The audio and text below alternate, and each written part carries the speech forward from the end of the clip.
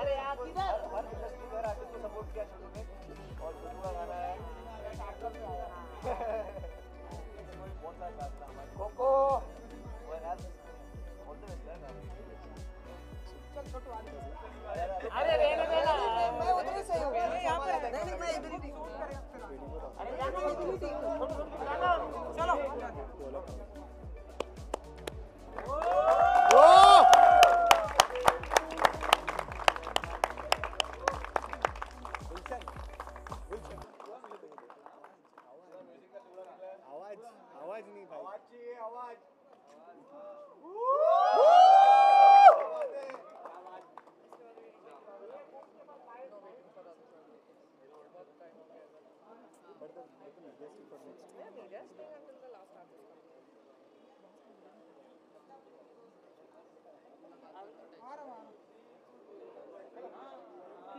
मैं करा रहा हूँ वो लेगा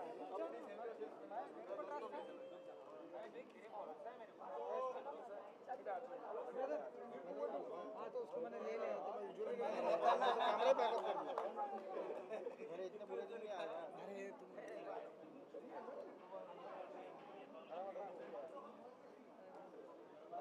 इधर इधर भी दिखाई हाँ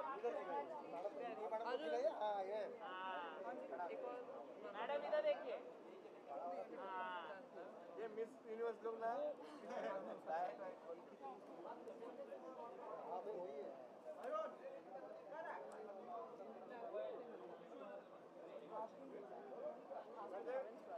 हमारे गाने का म्यूज़िक इन्होंने विंटर ड्रम्बर फ्रॉम अहमदाबाद हमारे गाने में जान डाली है क्या बात है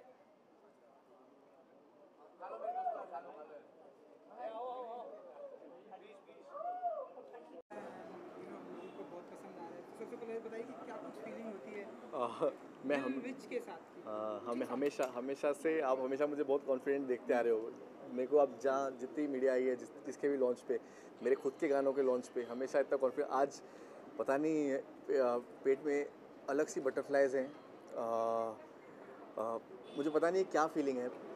ऐसा ऐसा लग रहा है कि ये एक साल से एक बच्चा था जो मेरे अंदर पल रहा था और आज वो फाइनली रिलीज़ हुआ है दिल विच बस इरादा ये है कि मेरे दिल से सबके दिल तक पहुँच जाऊँ। और पिछले पिछले लॉकडाउन में लिखा था जो पहला लॉकडाउन था तब लिखा था ये गाना। फिर कंपोज हुआ फिर म्यूज़िक बना। फिर सही वक्त का इंतज़ार किया कि कब रिलीज़ करना चाहिए।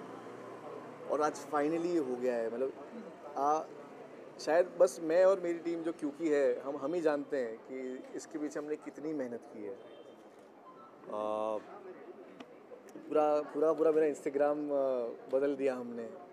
आठ साल की मेहनत वो हमने बदल दी इस गाने के लिए।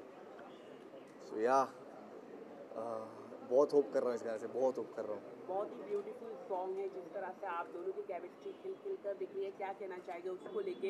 And it's look like a टोपी पहनी है आपने क्या कहना चाहिए आ, जब मैंने ये डाला था पहले पहला लुक दिलविच का लोग बोला अरे ये तो पायलट है। आ, मैंने समंदर के पास एक आ, फ़ोटो डाला लोग बोला अरे ये तो कैप्टन है शायद शिप की स्टोरी होगी। लेकिन आ, इसमें भाविन ड्राइवर है। इसमें मैं ड्राइवर हूँ।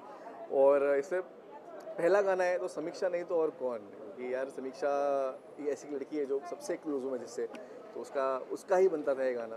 तो हम दोनों साथ में किया और अच्छी केमिस्ट्री दिख रही है लोगों को। लोग, मैंने कमेंट सबके पढ़े, सबको बहुत अच्छा लग रहा है।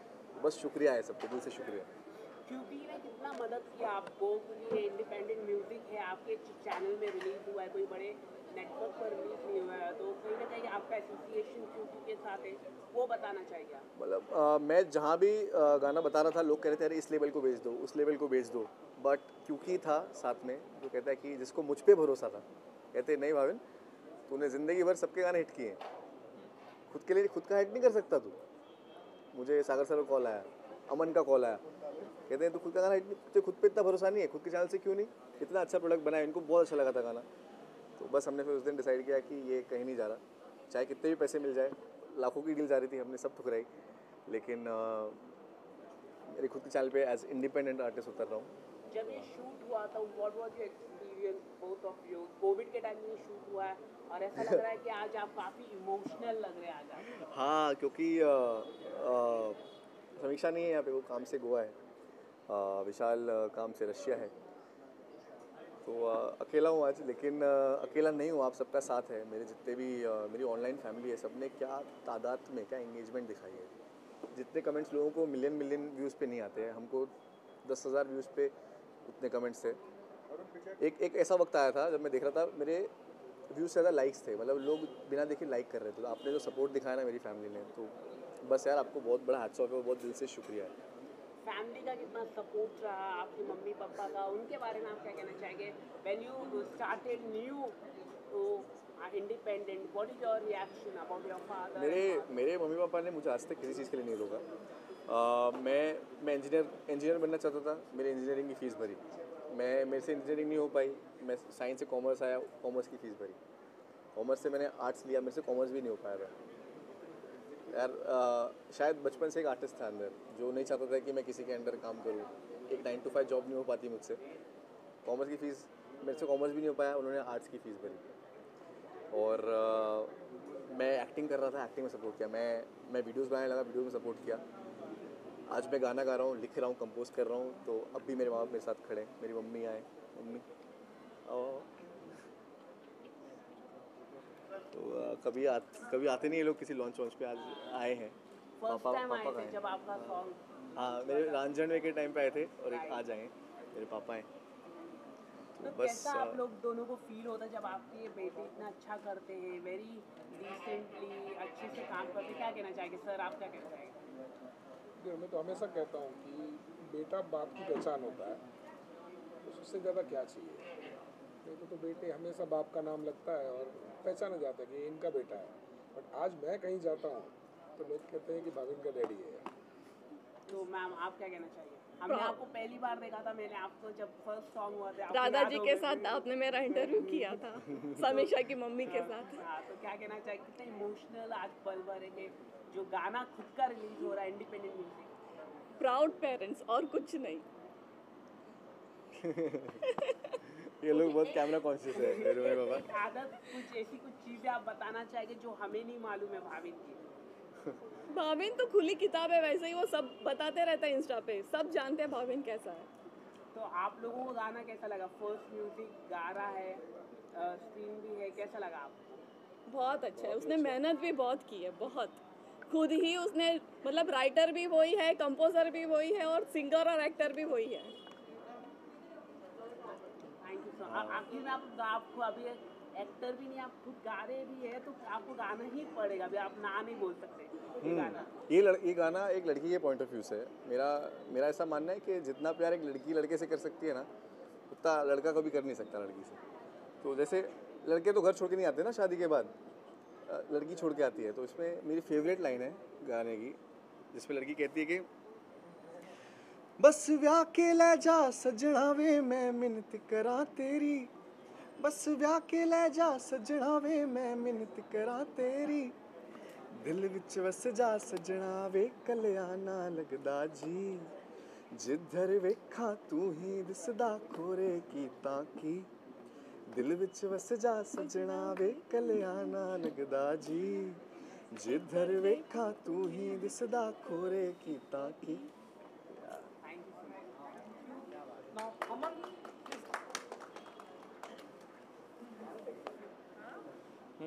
सर बहुत अच्छा finally bro okay see Aman अ, क्या कहना चाहेंगे? लाइक क्योंकि ये साथ आई थिंक कल की बात है जब भाविन ने मेरे को अपने घर पे बुलाया था और ये गाना गुनगुना के सुनाया था। और गुनगुना के सुना के बोल रहा है कि तो मैंने कहा कि गाना तो बहुत अच्छा है लेकिन किसका है? बोला कि मैंने लिखा है और मैं गाने वाला हूँ। और मतलब तब तो मुझे लगा था कि शायद मज़ाक कर रहा है या फिर मेरे से मतलब उसको बहुत आदत है मज़ाक करने की, भाविन को बहुत आदत है। जो लोग भाविन को जानते हैं, बहुत अच्छे से जानते हैं।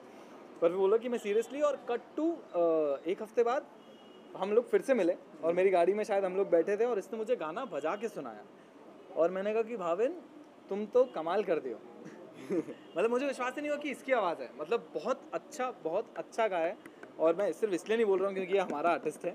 पर जेनविनली बहुत अच्छा गाया है। मतलब पहला गाना है और हमारे लिए तो ड्रीम है राइट हाँ मेरा तो ड्रीम प्रोजेक्ट है। हाँ। और इन लोग का बहुत साथ रहा है मेरे को क्यूकी का। मेरे को नहीं लगता मैं अगर किसी और कंपनी में तो इतना सपोर्ट मिलता मेरे को। नहीं लेकिन बहुत सपोर्ट का ऐसा है कि भाविन एक एक ऐसा क्रिएटर है जो एक्चुअली में बहुत अच्छा और दिल से आर्टिस्ट है। मतलब उसका जो आर्टिस्टिक इंस्टिंक्ट है, वो बहुत ज़्यादा स्ट्रांग है। ये मैंने बहुत कम बहुत कम लोगों में देखा है कि इतना स्ट्रांग आर्टिस्टिक वो अपने ड्रीम्स में बिलीव करता है। मतलब जब उसने भी बोला कि अब मैं गाऊँगा और मैं करूँगा तो उसने वो किया। उसने ऐसा नहीं सोचा कि नहीं, पता नहीं मैं गा सकता हूँ कि नहीं या मैं क्या कर सकता हूँ, लेकिन वो पूरा उसने अपना पैशन फॉलो किया है, जो कि और हमें आज क्योंकि बहुत ज़्यादा अच्छा लगता है और हम लोग बहुत ज़्यादा प्राउड है भावन के ऊपर। मुझे अभी भी याद है कि और बहुत कम लोगों को ये पता है, ये एक्चुअली मैं बताना चाहता हूँ कि भाविन और हमने अपने रिश्ते की शुरुआत एक्चुअली सुबह सात बजे की है। याद है तो?